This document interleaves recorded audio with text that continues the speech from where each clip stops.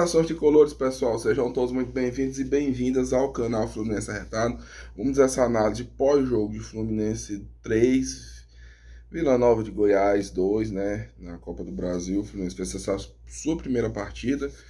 E vamos direto aqui à análise, né? Que é o interessa. Hoje é bem complicado fazer essa análise porque juntou emoção com então até demorei um pouco para tentar me concentrar aqui ao máximo, mas vamos lá, vamos ver se a gente vai encaixando aqui de acordo com o vídeo. Então deixa nos comentários o que foi que você achou desse gol, porque realmente ver o Fred fazendo um gol é, no final do jogo, aquele tapa que a gente gosta de ver, que ele sabe fazer muito bem, né?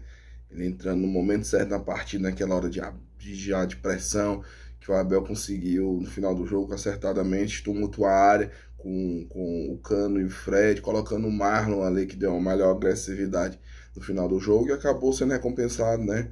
E a gente acaba vendo o Fred marcando um gol e o Fluminense saindo com essa vitória.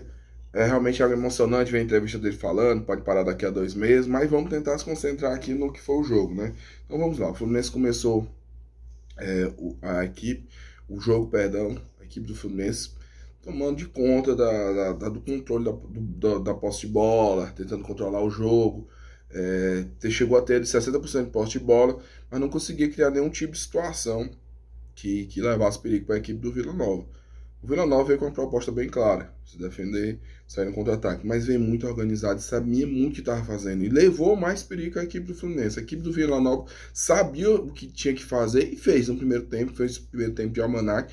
O Fluminense teve o primeiro tempo tenebroso, tenebroso, com muita dificuldade. Realmente a, a equipe do Abel Braga, quando se propõe a criar, tá com dificuldade absurda. Isso aí é o que a gente tem que falar, porque tem uma situação que é o fato. Se a gente imaginasse o jogo de hoje e, e pensasse o Fluminense saindo com 1 a 0 1 a 0 com a vantagem de um gol apenas para o jogo de volta, que é daqui a 21 dias, a gente ficaria, não, um resultado ruim. Mas pela situação de jogo, Fluminense pegando 2 a 0 fazendo o primeiro tempo de se esquecer, a lá Ibis, muito ruim, e saindo com esse, um, esse placar de 1 a 0 de vantagem, né, digamos assim, de ter um empate como vantagem, pode ser bom, porque a equipe do Abel é, vai tentar jogar de uma forma reativa, né? E talvez seja a melhor forma hoje do Fluminense jogar. Porque realmente quando se coloca para propor o jogo, não consegue levar praticamente perigo nenhum.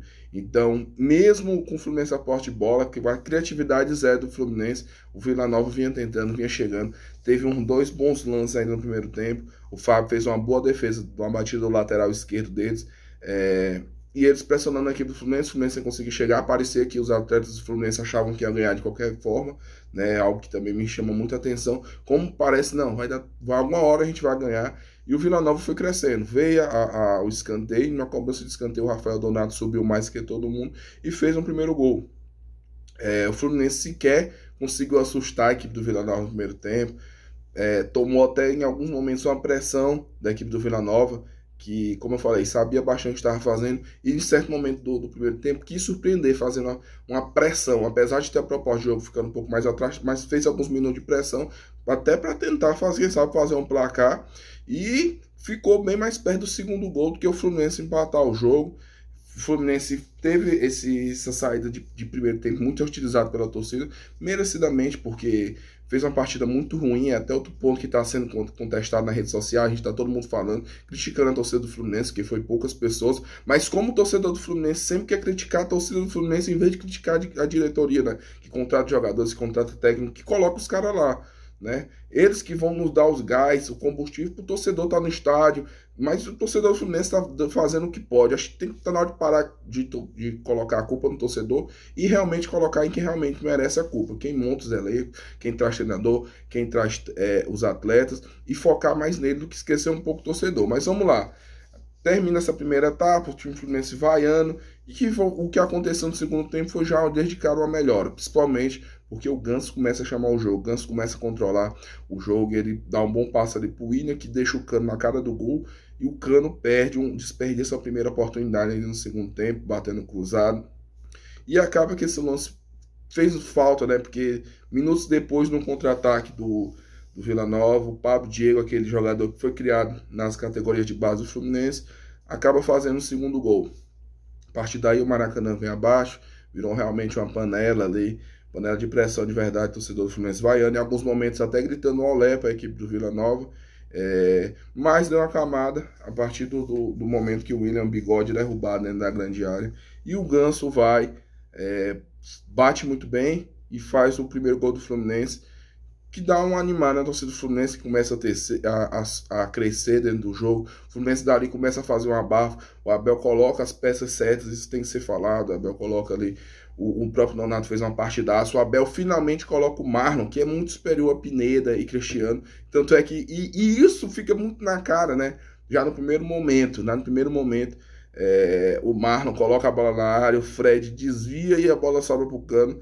Que, que só empurra pro gol e o Fluminense começava ali fazer aumentar a panela de pressão que era da torcida negativamente, passou a ser uma panela de pressão positivamente. O Fluminense começou a crescer, querer fazer essa pressão. A, o Cano e o Fred dentro da, da grande área, segurando ali os dois zagueiros, foi algo que também fez com que o time do Vila Nova fosse mais para trás, ficasse mais pressionado. O Fluminense conseguiu segurar, não deixar que o Vila Nova saísse de trás.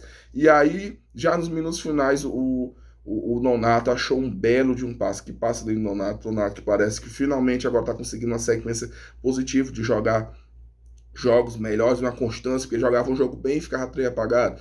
Já está começando a melhorar essa constância. Deu um, um lindo passo para o Fred que Comeda sabe fazer muito bem. Ele nem dominou a posse da bola, já chegou batendo e fazendo um, um belo gol para a equipe do Fluminense. Um gol realmente que emociona no final do jogo. Ele falou um pouco ainda dessa, dessa aposentadoria dele, é algo que realmente vem pesando muito é, na, no emocional do tricolor. Imaginar que daqui a dois meses é, o maior artilheiro da Copa do Brasil pode estar se aposentando. Ele dá aquela chapada que ele sabe muito bem, espetacular. E agora vamos para as notas individuais, né? O Fábio, o Fábio foi dar uma nota 6, não teve culpas no gols. Os gols até nos, nos outros momentos que foi exigido foi bem. Samuel Xavier, mais uma partida desastrosa dele. O Nino, quando foi à frente, mostrou ter mais qualidade do que o próprio Samuel Xavier, tirou um 3,5. E no segundo gol não fechou espaço, mas também fica o destaque também do Nino, né? Que também nas interceptações de ataque da equipe do, do Vila Nova também não foi muito bem. Também vou dar uma nota 4 aí para o Nino. Mais um.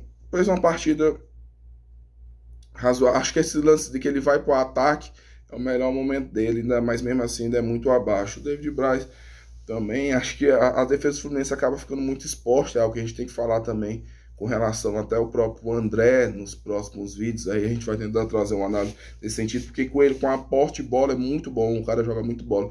Mas com relação à exposição à defesa ali do Fluminense, é algo que vem chamando a atenção como é exposta a defesa do Fluminense desse meio na parte da frente. Nós tivemos aí também como destaque positivo o Nonato e o Ganso. O Ganso é o cara do jogo. O Ganso é o cara do jogo, pelo menos um 8. Depois que ele bota a bola debaixo do braço e começa a controlar as ações do jogo. O Fluminense muda de, de, de postura dentro de campo. E o gol final ali do Fred e o Cano, né? O Cano também um 7, apesar de ter perdido um gol que ele não costuma perder. E o Fred pelo gol da vitória, um 7,5. O Nonato também foi uma partida muito boa. Também vou dar uma levantada na bola do Marlon, cara, que tá aí quatro meses sem jogar a gente ficar vendo só porque foi contratado um jogador de 9 milhões. É, isso é um absurdo, realmente, é, a contratação do Cristiano. É algo que tem que ser, acho que até mesmo investigado, cara, porque é algo totalmente sem noção. Então a gente vai ter que levantar a bola aqui do Marlon, que entra no seu primeiro lance, dá uma assistência e coloca ali o Fluminense no jogo de novo. Tem, temos também o, o Iago, partida negativa, acaba errando bem bastante. Quando o Fluminense se propõe a propor mais o jogo e a, acaba indo muito mal. O David Braz também na partida bem abaixo, né? Desde o início, tudo que ele tentou foi errando. O Pineira também, atuação bem fria. O John Ares também hoje um pouco apagado. Quem esteve no primeiro tempo do Fluminense é difícil a gente estar tá falando de alguma coisa positiva. O próprio Luiz Henrique, mais uma partida apagada dele. Acho que do primeiro tempo, a gente, de uma forma geral, quem, quem começou e foi bem até o final foi, foi o Cano, o Ganso, eu acho que o Fábio não dá para ter muita culpa não, o Nonato também, que, que entra, entra muito bem, Caio Paulista até achei ele muito guerreiro, se machucou, quis continuar dentro de campo, tomara que ele consiga dar essa volta, mas é basicamente isso, agora que a gente tem que falar com relação ao Abel, que poupa a equipe do Fluminense, leva esse baile no, no, primeiro tempo, uma partida horrorosa do primeiro tempo do Fluminense, mas quando vai no segundo tempo, é, acaba acertando, né? Nas, principalmente nas mexidas ali.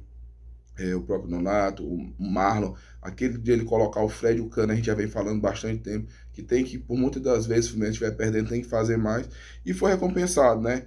É, não tira o fato dos erros cometidos do Fluminense, que, fica, que ainda é muito bagunçado, é muito bagunçado, a gente foi engolido pelo Vila Nova dentro de casa, então a gente vai ter sim problemas no jogo de volta, a tendência que o Fluminense pipoque lá é muito grande, cara, muito grande de verdade, tomara que a gente tenha já Felipe Melo, tomara que a gente tenha é, um Fred aí 100%, que é para estar... Tá segurando mais essa pressão, o próprio Ganso bem, o próprio Cano, porque negócio vai ser complicado. Mas hoje o Fluminense foi premiado e sai com essa vitória aí. Depois das escolhas do Abel, né? Fez o que tinha que se fazer para fazer o abafo, o Fluminense sai com essa vitória. Tá bom, pessoal? Saudações de colores, até os próximos vídeos. Valeu!